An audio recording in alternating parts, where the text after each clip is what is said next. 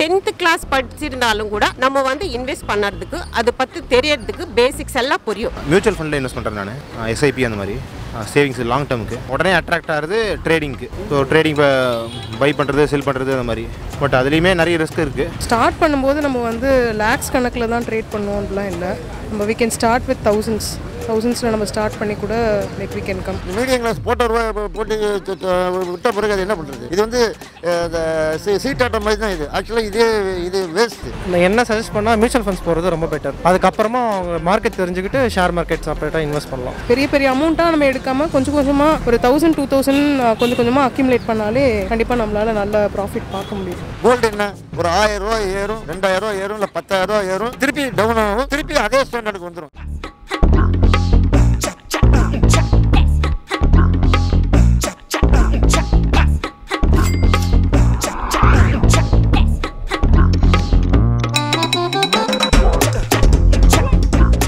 வந்து ஷேர் மார்க்கெட்னா we can invest invest பண்ணலாம்.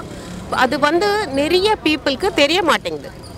இப்போ ஷேர் மார்க்கெட்டில் four percent women in India invest பண்ணுறாங்க நம்ம மோட்டிவேட் பண்ணணும்.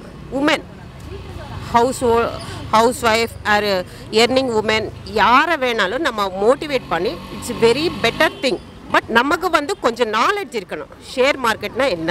அதில் எப்படி பணம் வைக்கணும்? அது ஏறினா எப்படி கம்மியானா எப்படி அது எப்போ செல் செல் பண்ணணும். இது வந்து இந்த பேசிக்ஸ் எல்லாம் நம்ம முதல்ல தெரிஞ்சுட்டு we can invest that so women first know உமனுக்கு நல்லா தெரியணும். என்னன்னா ஷேர் மார்க்கெட்னா என்ன?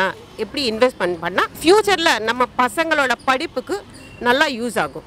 So women must be invest in share market but basics simple things tenth class படிச்சிருந்தாலும் கூட நம்ம வந்து இன்வெஸ்ட் பண்ணுறதுக்கு அதை பற்றி தெரியறதுக்கு பேசிக்ஸ் எல்லாம் புரியும். பட் அது யூடியூப்பில் போய் படித்து அதோட டீட்டெயில்ஸ் எல்லாம் தெரிஞ்சுக்கிட்டு we can invest in share market it's better thing post office பேங்க்கு இன்னும் நிறைய இன்வெஸ்ட்மெண்ட் உள்ள விட இது ரொம்ப ரொம்ப ரொம்ப நல்லது. ஷேர் மார்க்கெட் பற்றி இப்போ பார்த்தீங்கன்னா மியூச்சுவல் ஃபண்டில் இன்வெஸ்ட் பண்ணுறேன் நான்.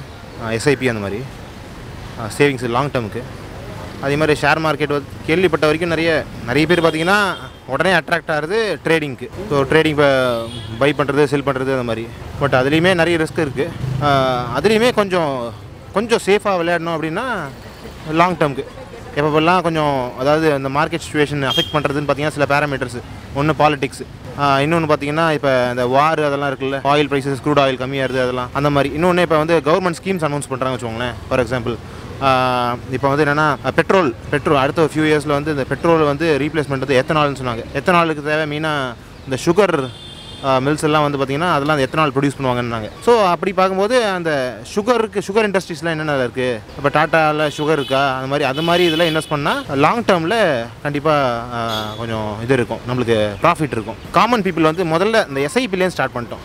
இந்த மார்க்கெட்டு இதில் உள்ளே வரதுக்கு சேஃபாக வரணும்னா ஒரு எஸ்ஐபியில் ஒரு ஒரு ஒன்றும் இல்லை. ஒரு ஒரு ஒருத்தவங்க வந்து பார்த்திங்கன்னா காலேஜ் முடிச்சுட்டு அவங்க இதுக்கு வராங்க. ஒரு கம்பெனியில் ஜாயின் பண்ணுறாங்க வச்சுக்கோங்களேன். ஒரு ஆறாயிரம் ரூபாய் இல்லை பத்தாயிரம் ரூபாய் சம்பளத்துக்கு வராங்க வச்சுக்கோங்களேன். அவங்க வந்து ஒரு ஆயிரம் ஆரம்பிக்கலாம். ஒரு எஸ்ஐபி ஒரு மியூச்சுவல் ஃபண்டில் இன்வெஸ்ட் பண்ணலாம். போக போக போக அதோட நாலேஜ் கொஞ்சம் கெயின் ஆனவுடனே அவங்களுக்கு வந்து என்னென்னா அவங்க ஒரு கொஞ்சம் அமௌண்ட்டை அக்யூமுலேட் பண்ணாங்கன்னா அப்புறமா அவங்க ஜென்ரல் நாலேஜ்லாம் கற்றுக்கிட்டு ஆக்சுவலான ஸ்டாக் மார்க்கெட்டு ட்ரேடிங்கில் அவங்க இது பண்ணலாம். பட் அதுலேயுமே பார்த்தீங்கன்னா அவங்க they don't don't need to like watch it every day and sell to try to sell it invest பண்ணியே வைக்கணும். அப்படியே ஒரு பக்கெட்டில் போட்டு வைக்கிறது நல்லது. இப்போ பார்த்தீங்கன்னா இப்போ இங்கே பார்த்தீங்கன்னா இப்போ என்னோடய ஒய்ஃபு இப்போ நான் எனக்கு பெருசாக இன்ட்ரெஸ்ட் கிடையாதுல்ல. அவள் வந்து பார்த்தீங்கன்னா அவள் கொஞ்சமாக அப்படியே நியூஸ்லாம் வாட்ச் பண்ணுவாள் வாட்ச் பண்ணி வாட்ச் பண்ணி என்ன பண்ணுவான்னா கொஞ்சமாக அவளுக்கும் ஒரு ஒரு ஆஃபீஸ்லேயும் பார்த்தீங்கன்னா என்னோட ஒருத்தர் கலீக் இருக்காரு. அவங்க ஒய்ஃப் இது பண்ணாங்க. ஸோ நான் நிறைய கேள்விப்படுறப்ப என் ஒய்ஃப் இப்போ ட்ரை பண்ணாப்ப. ஐடிஎஃப்சியில் இன்வெஸ்ட் பண்ணான் கொஞ்சம் பார்த்து வருமா கொஞ்சம் ஒவ்வொரு பீரியட் பார்த்தீங்கன்னா அவளே காமிச்சாங்கிட்ட இதில் நான் இன்வெஸ்ட் பண்ணேன் பார்த்தீங்கன்னா ஒரு இருபத்தெட்டு ரூபாய்க்கு ஒரு ஸ்டாக் வாங்கினேன். இப்போ அதோட விலை பார்த்தீங்கன்னா இப்போ வந்து இரநூத்தி ஐம்பது ரூபா அப்படின்னு சொல்லிட்டு காமிச்சேன் ஸோ அவங்களுக்கு ப்ரெஃபரபிளி பார்த்தீங்கன்னா ஹோம் மேக்கர்ஸ் பண்ணாங்கன்னா கண்டிப்பாக it can support the family start பண்ணும்போது நம்ம வந்து லேக்ஸ் கணக்கில் தான் ட்ரேட் பண்ணுவோம்லாம் இல்லை.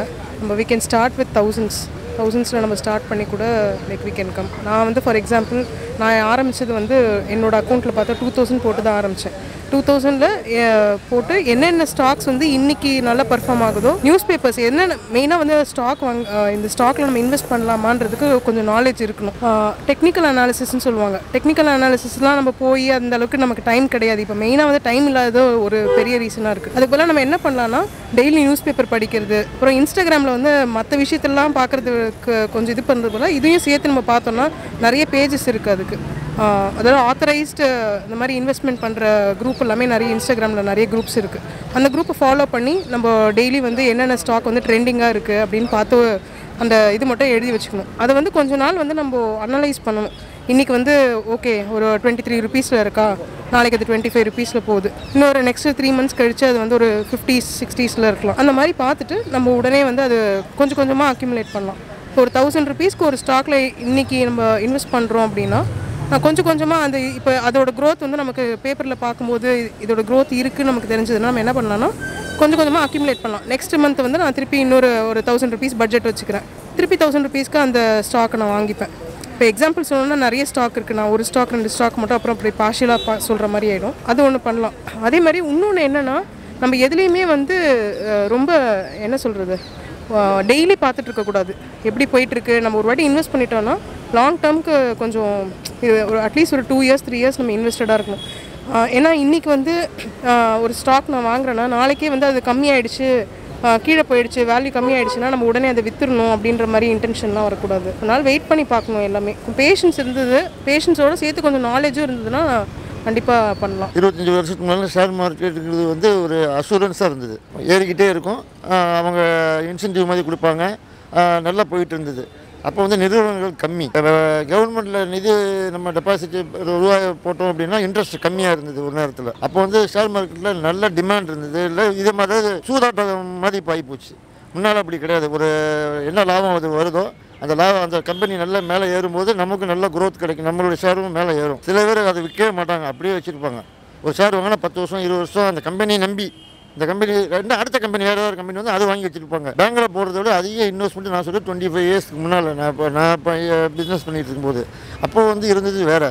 இப்போ நிறைய நிறுவனங்கள் மூடிடுறாங்க. மூடுறது ஈஸியாக போச்சு. பேங்க்கில் லோன் வாங்க வேண்டியது இப்போ ம இங்கே ஷேர் மார்க்கெட்டில் விட வேண்டியது சரி ம மக்கள்கிட்ட காசு வாங்க வேண்டியது ஓடி போக வேண்டியது. இது வந்து எப்போ ஆரம்பிச்சதோ அன்னிலேருந்து ஷேர் மார்க்கெட் வந்து ஒரு நிர நிரந்தரம் இல்லைன்னு முடிவு பண்ணியாச்சு. இன்னும் இனிமேல் கவர்மெண்ட் பேங்க்கில் ரூபாயை போடுறதும் போஸ்ட் ஆஃபீஸில் ரூபாயை போடுறதும் தான் சேஃப் இது வந்து அளவுக்கு மீறி பிஸ்னஸ் பண்ணுறாங்க இல்லையா? சொத்து சேர்க்குறாங்க பாருங்க. அவன் வேணால் ஷேர் மார்க்கெட்டில் போடலாம். அன்னாட மிடில் கிளாஸ்கள் கஷ்டப்பட்டு எவ்வளோ செலவெல்லாம் சுருக்கி வீட்டு வர இருக்குது பையன் படிப்பு இருக்குது இதெல்லாம் மீறி சுருக்கி கஷ்டப்பட்டு காசை சேர்த்து ஒரு நிறுவனத்தை நம்பி இன்றைக்கி போடுறோம் அப்படின்னா நான் சொல்கிறது இருபது வருஷத்துலேருந்து இன்றைக்கி வரைக்கும் அந்த நிறுவனம் இருக்கிறத பற்றி நான் பேசவே இல்லை. ரீசெண்டாக ஒரு பத்து வருஷம் அஞ்சு வருஷம் அந்த நிறுவனத்தை நான் சொல்கிறேன் இங்கே நம்மளுடைய பைசா மக்கள் இவ்வளோ தூரம் கஷ்டப்பட்டு ஷேர் மார்க்கெட்டில் போடுறாங்க. போட்ட காசை இவங்க நிறுவனத்தை ஒழுங்காக நடத்தாமல் நிறுவனமே இல்லாத நிறுவனம் கூட ஷேர் வாங்குது. இன்னைக்கு மொத்தமாக ஆட்டையை போட்டு நேராக வெளிநாடு போய் உட்காந்துக்கிறோம் இங்கே நம்ம ஒரு முதல் போட்டவன் எவ்வளோ பிரயோஜனம் பண்ணியும் கவர்மெண்ட் ஆக்ஷன் இன்னும் இன்றைக்கி வரைக்கும் எடுக்கல. இத்தனை பேர் ஷேர் மார்க்கெட்டில் கம்பெனியை மூடி போட்டு போ இத்தனை பேர் ஓடி போனவன் இன்னும் பிடிக்க வழியில் பத்து பன்னெண்டு பதினஞ்சு வருஷம் ஓய் ஆகி ஆகிப்போச்சு அப்போ ஒரு பொண்ணுக்கு அந்த ஷேர் மார்க்கெட் ஒரு இருபத்தஞ்சி வருஷம் கழித்து நல்ல ஒரு இது வரும்போது இந்த குழந்தையா இருக்கும்போது போட்ட ஷேர் ஒரு அந்த பையன் இப்போ காலேஜ் வரும்போது அந்த ஷேர் மார்க்கெட்லேருந்து எடுக்கிறான். அப்படி தான் அப்போ இருந்தது. இப்போ போட்ட ஒரு மூணு ஒரு பத்து நாள் கழித்து பார்த்தா டெங்குன்னு மேலே ஏறுது. பொட்டுன்னு கீழே விழுந்துருது. அதுக்கப்புறம் இந்த கம்பெனியை காணும்.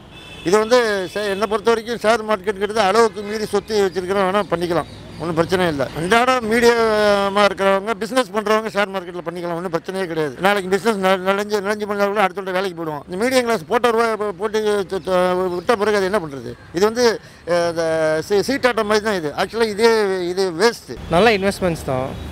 யார் வேணால் பண்ணலாம். யார் வேணால் ஈஸியாக டிமேட் அக்கௌண்ட் ஓப்பன் பண்ணி ஓப்பன் பண்ணி எல்லாம் பண்ணுறதுக்கு முன்னாடி அதை பற்றி கொஞ்சம் நாலேஜ் கண்டிப்பாக இருக்கணும். என்ன நாலேஜ்னா என்னென்ன கம்பெனிஸ் இருக்குது அந்த கம்பெனியோட பேக்ரவுண்ட் தெரியணும். அது மாதிரி என்ன வித்தியாசமான கம்பெனிஸ்லாம் இருக்குன்னு பார்க்கணும். இப்போ ரீசெண்டாக பார்த்தீங்கன்னா இப்போது இப்போ இஸ்ரோ வந்து நிறைய சேட்டலைட்ஸ் விடுறாங்க. அப்போ அந்த சேட்டலைட்ஸ் விடுறாங்கன்னா அது எப்படிலாம் அந்த மேனுஃபேக்சரிங் பண்ணுறாங்க என்ன கம்பெனிஸ் இருக்குது இப்போ அந்த கம்பெனி ஸ்டாக்ஸ்லாம் வாங்கினா கண்டிப்பாக க்ரோத் இருக்கும். ரீசெண்டாக பார்த்தீங்கன்னா டாடா ஸ்டாக்ஸ் வந்து பயங்கரமாக ரீஸ் ஆகிட்டு இருக்கு. ஈவன் இந்த டாடா பவர் வந்து ஜஸ்ட் ஒரு டூ மந்த்ஸில் வந்து இரநூறுவா ஏறி இருக்கு. இப்போ அவர் ஒரு மேரிட் பர்சன் வந்தனா கண்டிப்பாக பண்ண முடியாது.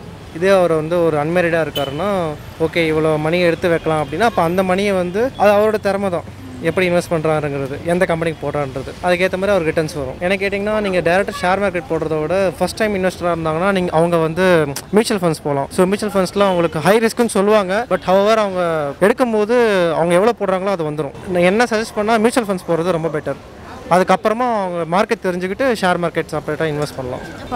அதுதான். இப்போ சொன்ன மாதிரி நம்ம இனிஷியலாக ஸ்டார்ட் பண்ணணும். ஏன்னா ரிஸ்க் எடுக்கிறதுக்கு நம்ம இப்போ ஃபார் எக்ஸாம்பிள் மிடில் கிளாஸ் ஃபேமிலியிலேருந்தே தான் நம்ம வரும். வரும்போது இப்போ பெரிய பெரிய லெவலில் இப்போ லேக்ஸ் அண்ட் க்ரோஸ் டுகெதர்லாம் டெய்லி ட்ரேடிங் பண்ணுறவங்கலாம் இருக்காங்க. அவங்களோட ப்ரொஃபஷனே தான் இருக்கும். ஸோ அவங்களுக்கு வந்து அது ரிஸ்க் எடுக்க முடியும்.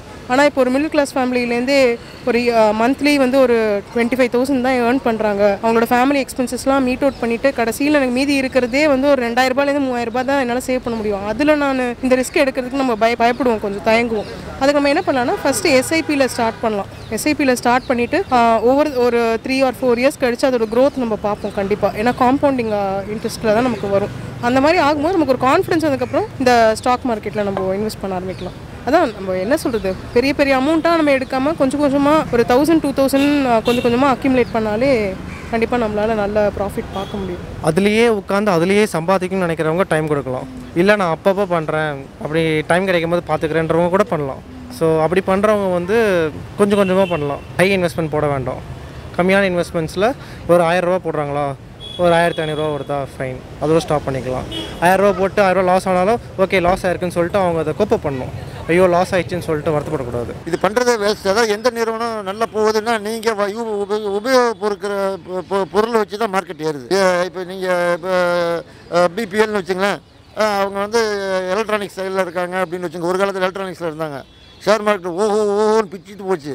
அதை அதை அப்படியே தூக்கி குப்பையில் போட்டு சாம்சங் டிவி வாங்கும்போது பிபிஎல் ஷேர் மார்க்கெட் கீழே விழுந்துருச்சு புட்டுன்னு. அப்போ நம்ம அதுக்கு காரணம் நம்ம தான். நம்ம எந்த பொருளை யூஸ் பண்ணுறோமோ அந்த பொருளுடைய விலை ஏறும்போது ஷேர் மார்க்கெட் லாபம் கிடைக்குது. நம்ம அடுத்த ப்ராடக்ட் ஒன்று வரும்போது அதில் நம்ம கவனம் செலுத்தும் போது அந்த கம்பெனி நிலவு அடைஞ்சிருது. என்னை பொறுத்த வரைக்கும் நான் வந்து ஷேர் மார்க்கெட்டில் அளவுக்கு மீறி இருக்கவங்க போடுங்க. மீடியம் கிளாஸ் இந்த விளையாட்டே வேணாம். குறுகிய காலத்தில் ஆசைப்படாதீங்க. மு- போட்ட முதல் போயிடும். எவ்வளோ கவர்மெண்ட்டில் ஸ்கீம் கொடுத்துருக்காங்க. பேங்க்கில் இருக்குது போஸ்ட் ஆஃபீஸில் இருக்குது அதெல்லாம் வந்து எதுக்கு கொடுக்குறாங்க மக்கள் நன்மைக்கு எல்ஐசி இருக்குது அதெல்லாம் எதுக்கு பண்ணுறாங்க மக்களுக்கு வசதியாக இருக்கிறதுக்கு ரோடு போடுறதுக்கு இதை கர க- கரண்ட் உற்பத்திக்கு இதை மாதிரி உள்ளதுக்கு அவங்களுக்கு கவர்மெண்ட் பயன்படுமா ஏன் வெளியே போய் கடன் வாங்கணும்? நம்ம பைசா நம்ம நம்மள்கிட்ட நம்மள்ட்ட மக்கள் பைசா வாங்கி அவங்க நமக்கு இன்ட்ரெஸ்ட் தராங்க. வட்டி குறைஞ்சா என்ன தப்பு? முதல் இவனுக்கு உருப்படியாக கவர்மெண்ட் தருது. கவர்மெண்ட் ஓடி போயிடுமா? இந்த கவர்மெண்ட் நஷ்டம் பண்ணா அடுத்த கவர்மெண்ட் ப்ராஃபிட் வந்தாலும் ந- நமக்கு அந்த பைசா திருப்பி தரப்போனா அசூரன்ஸ் இருக்கு. ஷேர் மார்க்கெட்ல என்ன அசூரன்ஸ் இருக்கு? அது வந்து சூதாட்டம் என்னை பொறுத்த வரைக்கும் கஷ்டப்பட்டு சம்பாதிக்கிற மீடியம் கிளாஸ் வந்து இதை அவாய்ட் பண்ணிவிட்டு மேக்ஸிமம் நான் வந்து கோல்டு கூட வாங்குங்கன்னு சொல்கிறேன்